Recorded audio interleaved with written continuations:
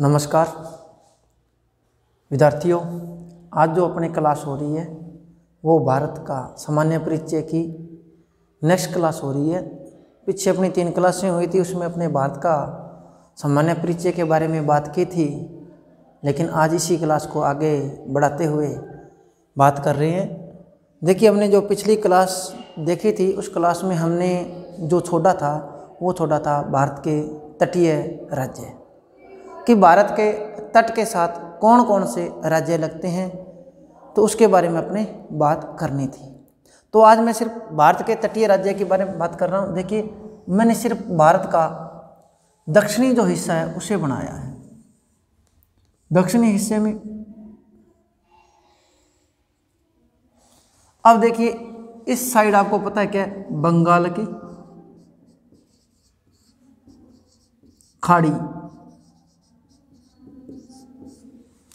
और इस साइड है अरब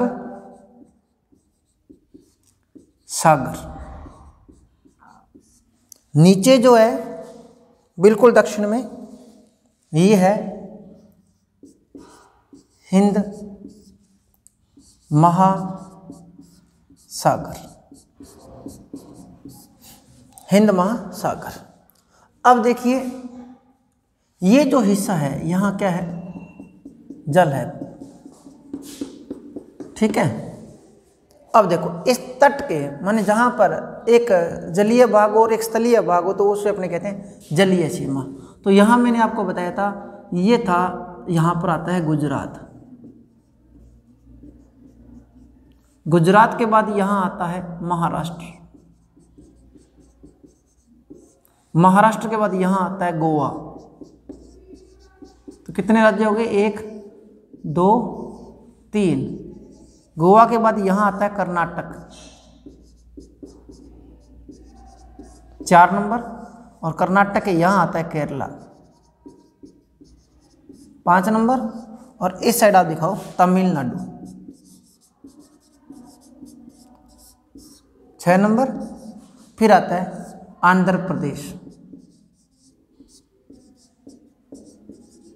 सात नंबर। फिर आता है ओडिशा। आठ नंबर और फिर आता है लास्ट वेस्ट बंगाल नौ नंबर।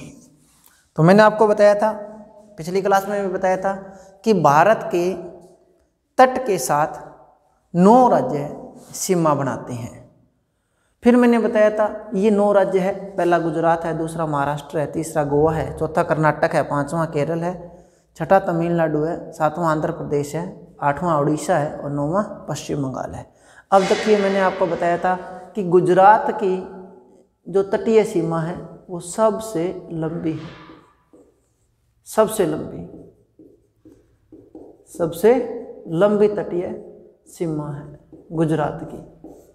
दो नंबर पर अगर बात करें तो किसकी आती है? आंध्र प्रदेश की। सेकंड स्थान। ठीक है सेकंड बार किसका आता है पहला किसका आता है गुजरात का, दूसरा किसका? आंध्र प्रदेश का। अब मैंने ये तो आपको राज्य बताए थे।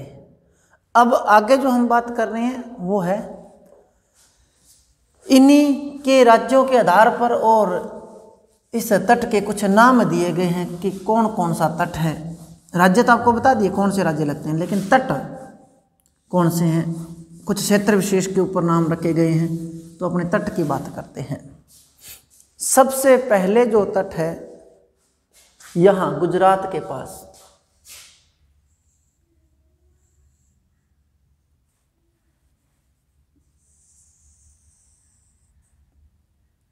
यहाँ, ये जो तट है, इसे कहते हैं काकरा पार या काठिया वाड़ का तट। इसके बाद में यहाँ आता है नीचे महाराष्ट्र तट। फिर आता है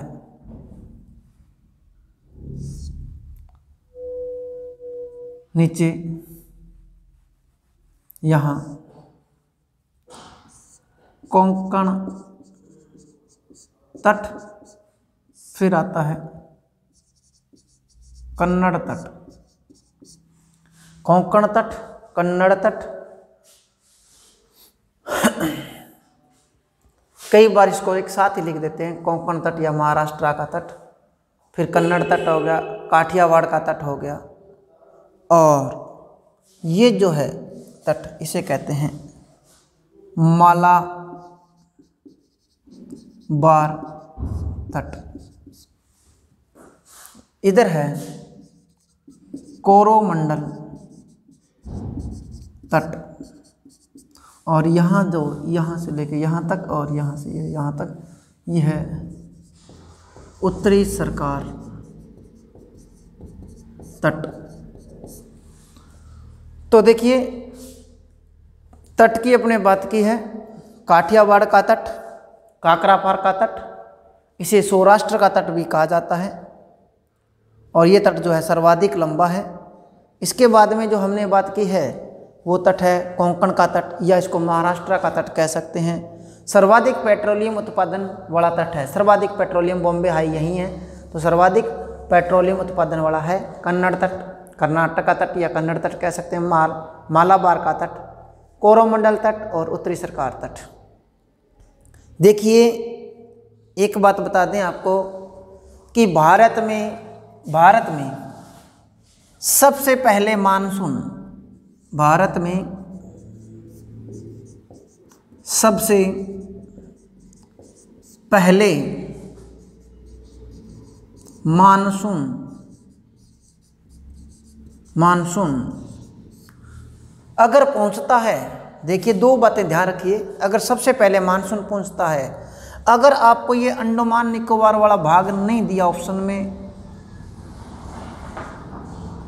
ये नहीं दिया, और आपसे पूछे कि भारत के किस राज्य में सबसे पहले मानसून पहुँचता है, राज्य का नाम दे तो देखिए, अगर राज्य पूछ ले, राज्य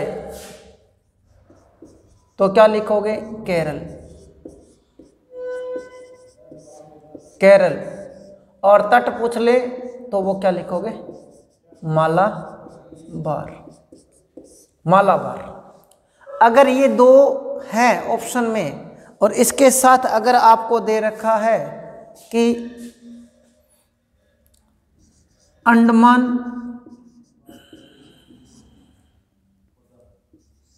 निकोबार, द्वीप समूह है। तो आपको सबसे पहले करना ये।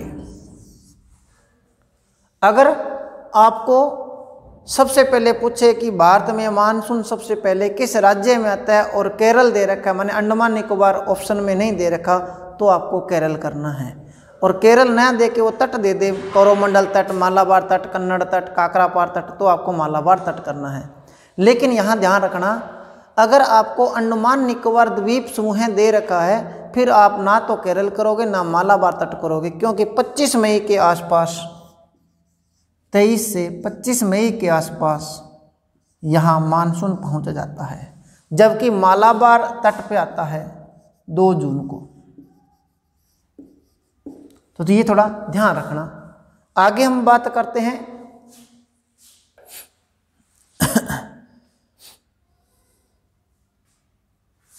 आगे हम बात करते हैं। देखिए, समुद्री सीमा की बात करते हैं। समुद्र की सीमा। समुद्र के अंदर हमारे कितनी दूर तक भारत की सीमा है, उसके बारे में अपने बात करते हैं।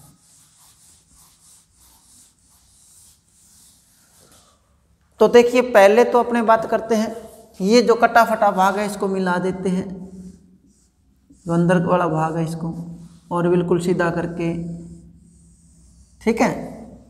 अब देखो पहली, सबसे पहली बात है, समुद्री जो सीमा होगी, समुद्री जो सीमा होती है, वो होगी नोटिकल मील में।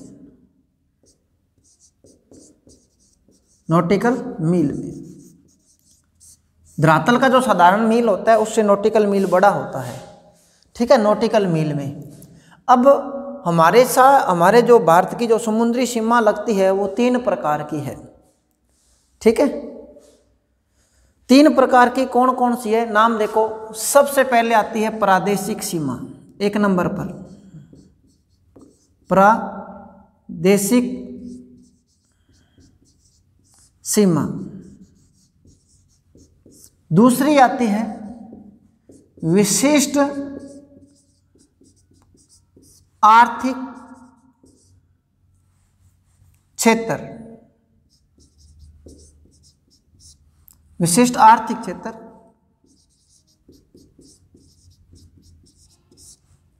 स्पेशल इकोनॉमिक्स जोन होते हैं ये। और यहाँ पर सिर्फ़ व्यापार को ध्यान में रखा जाता है। तीसरा आता है अन्यन आर्थिक क्षेत्र। तो कहने का अर्थ ये हो गया कि अपनी जो सीमाएँ लगती हैं, समुद्री सीमाएँ, मैंने कितनी दूरी तक सीमाएँ लगती है तट से तो तट से अपनी सीमाओं के बारे में बात करें तो तीन प्रकार की सीमा लगती है। तीन प्रकार की जो सीमाएँ लगती है, सबसे पहली जो सीमा होती है वो प्रादेशिक सीमा होती है, तट के बिल्कुल पास में होती है। दो नंबर पे जो सीमा होती है, वो होती है विशिष्ट आर्थिक क्षेत्र। तीसरी जो सीमा होती है, वो अन्य आर्थिक क्षेत्र होती है। देखिए आगे। आपको बता दें, सारी जो सीमाएँ होती है वो तट से ही होगी। पहली जो सीमा होगी वो यहाँ होगी। तट से इतनी दूर। ये जो दूरी है तट से 12 नोटिकल मील होती है। Nautical mile. 12 nautical mile. इस सीमा को कहते हैं प्रादेशिक सीमा। और इस सीमा के अंदर अगर एक दूसरे देश का जलयान अंदर आएगा तो उसको क्या देना पड़ेगा? टैक्स देना पड़ता है। भारी जो टैक्स होता है, जो भी सरकार जिस देश की जो सीमा होती है वो लागू करता है तो उसको टैक्स देना पड़ता है। दूसरी सीमा जो होती है वो यहाँ होती है।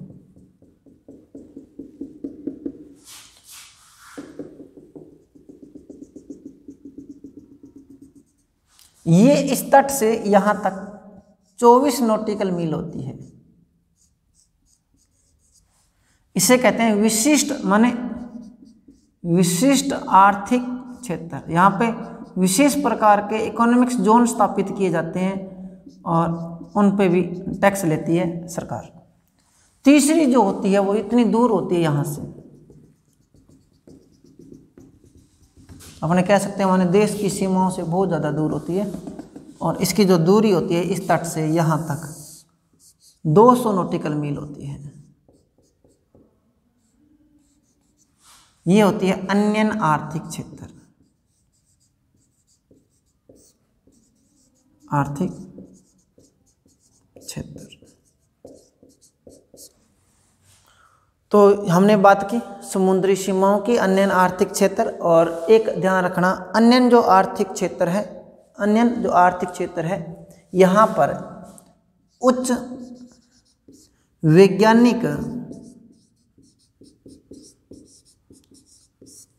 शोध संस्थान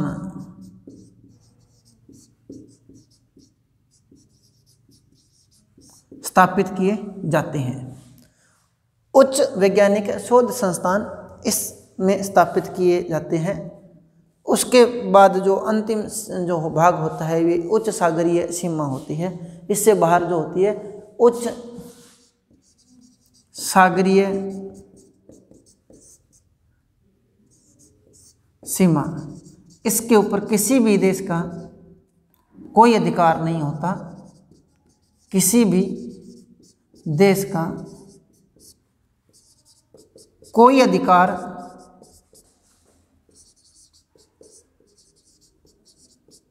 नहीं होता। ठीक है? अगर मान लो इस क्षेत्र में कोई चीज़ है, उसका खनन करना है तो ये वैश्विक सहमति से होगी। सहमति। या हम कह सकते हैं, यूएनओ के द्वारा। माने विश्व संगठन है, उससे हमें मान्यता प्राप्त संगठनों से मान्यता लेनी पड़ती है और उन्हीं का जो डिसीज़न होता है वो सर्वमान्य होता है। तो ये हमारी सीमाएँ हो गई। आगे हम बात करते हैं। आज का जो शेष जो रह गया वो है भारत का नामकरण। क्या रह गया? भारत का नामकरण। तो नामकरण की बात करते हैं अब। हमने सारी पढ़ लिए राज्य पढ़ लिए सीमाएँ पढ़ ली पड़ोसी दे, देश पढ़ लिए। आज हम जो टॉपिक है भारत के सामान्य परिचय में जो सबसे पहले करना होता है लेकिन हमने वो पीछे रह गया था इसलिए आज दोबारा कर रहे हैं। भारत का नामकरण। नामकरण। कि भारत का नाम भारत क्यों पड़ा कैसे पड़ा कारण क्या है, इसके बारे में अपने बात करते हैं। देखिए, सबसे पहले, अगर भारतीय संविधान की बात करें, भारत के संविधान में हमारे देश के कितने नाम हैं तो दो ही नाम हैं।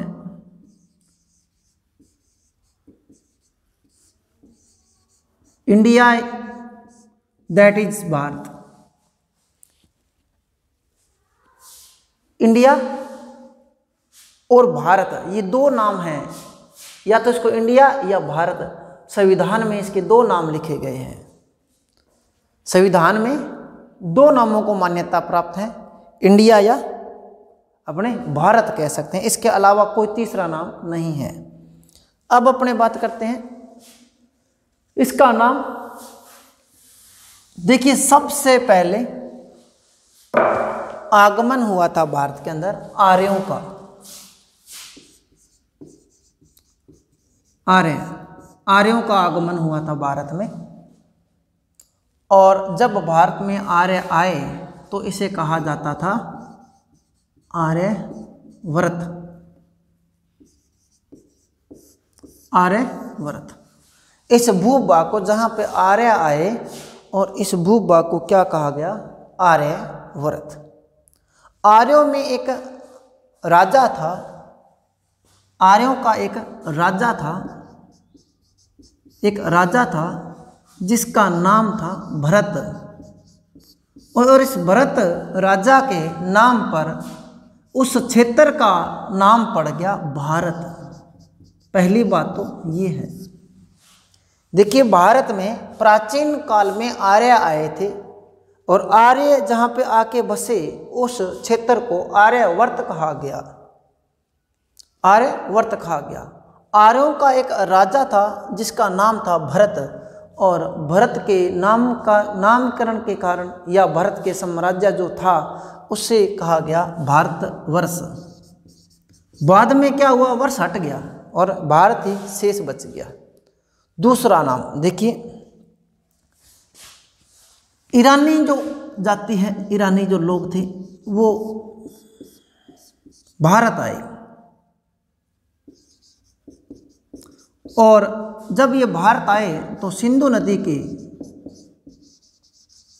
सिंधु नदी के आसपास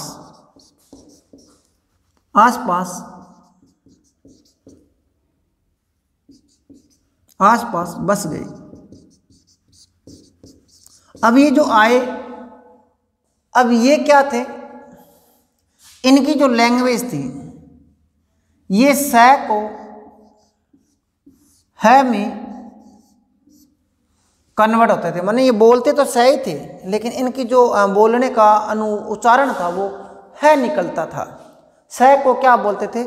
है बोलते थे। ठीक है? अब देखिए। ये जो स था, ये किसमें बदल गया? है में बदल गया। मैंने उच्चारण उनका है होता था। तो अब ये सिंधु जो था, वो किसमें बदल गया? हिंदू। और इस हिंदू की जो हिंदू माने, इसको हिंद सिंधु को हिंदू कहने लग गए और उसी प्रकार आसपास के क्षेत्र को कर दिया हिंदुस्तान। ठीक है? क्या बन गया? हिंदुस्तान। इससे सिंधु से हिंदू बना और हिंदू से क्या बन गया? हिंदुस्तान। इसी के साथ इसे इंग्लिश में इंडस। इंडस। कहते थे और इंडस से क्या बन गया? इंडिया। इंडस से क्या बन गया? इंडिया। तो भारत का जो नाम है वो नाम पड़ा है दो कारण से। एक इंडिया, एक भारत। हिंदुस्तान जो है, वो अपने कह सकते हैं एक आम भाषा का शब्द है जिसको कोई संविधान में मान्यता नहीं मिली है। आगे अपने बात करते हैं। एक ध्यान रखना, राजस्थान में जो मानसून का प्रवेश द्वार है, वो है बांसवाड़ा। ये मैंने आपको बता दिया था, समय रेखा बता दी थी आपको। भारत का जो राज्य त्रिपुरा है, वो बांग्लादेश से तीन और गिरा हुआ है, ये भी मैंने आपको बता दिया था।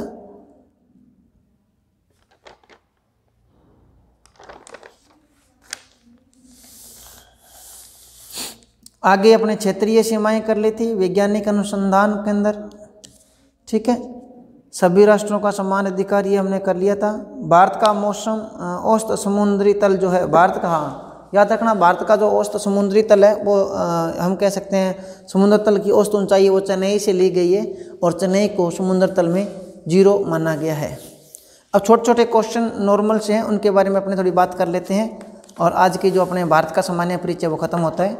भारत का सबसे बड़ा भारत का सबसे बड़ा जो क्षेत्रफल की दृष्टि से राज्य है कम और ज़्यादा की बात कर लें जनसंख्या और क्षेत्रफल में उसके बाद देखिए भारत का भारत का क्षेत्रफल में सबसे बड़ा राज्य। तो आप सभी को पता है क्या है? राजस्थान। सबसे छोटा तो आप बता ही सकते हो कौन सा है? गोवा। सबसे छोटा कौन सा है? गोवा। उसके बाद जनसंख्या सर्वाधिक, जनसंख्या जो है, वो उत्तर प्रदेश में है और सबसे कम जो जनसंख्या है वो सिक्किम में है। सब, सर्वाधिक जनसंख्या जो घनत्व है वो बिहार में है और सबसे कम जो है अरुणाचल प्रदेश में है।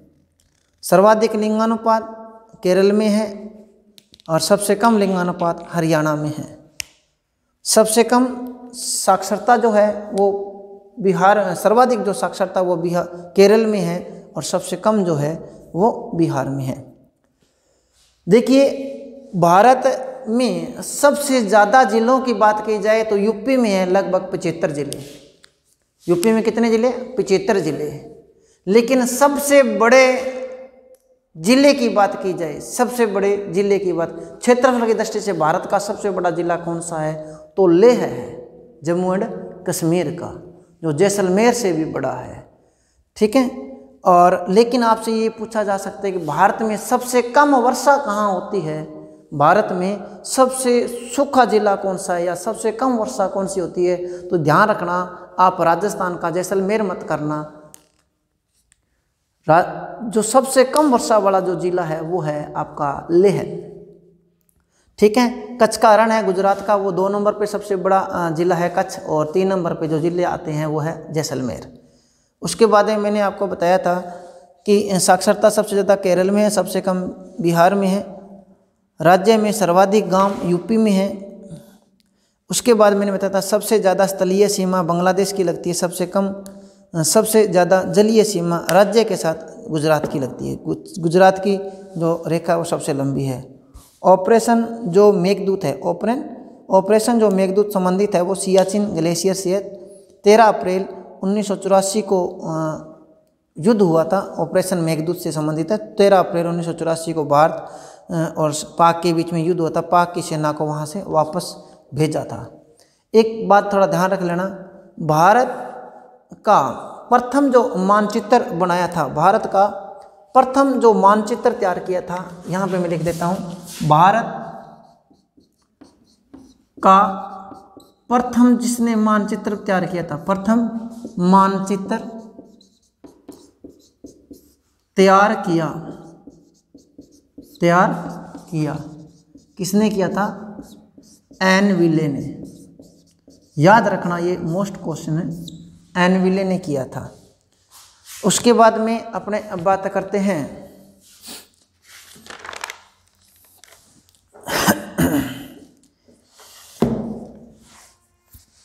हिंद महासागर का अटलांटिक महासागर से अलग जो करता है, वो कैपटाउन के पास है 19 डिग्री 22 मिनट पूर्वी देशांतर।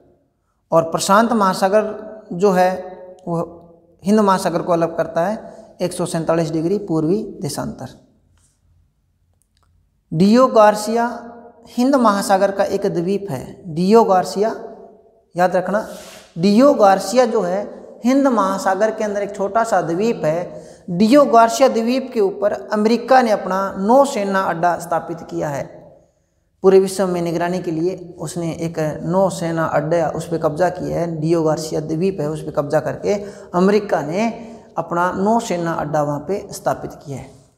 कल जो हमारी क्लास होगी, वो हम नेक्स्ट क्लास जो करेंगे, वो करेंगे भारत का भौतिक स्वरूप। अभी हमने भारत का भौगोलिक स्वरूप किया है, भारत का सामान्य परिचय में ये बात की है। कल हम इसके बारे में भौतिक विभागों की बात करेंगे। तब तक के लिए धन्यवाद।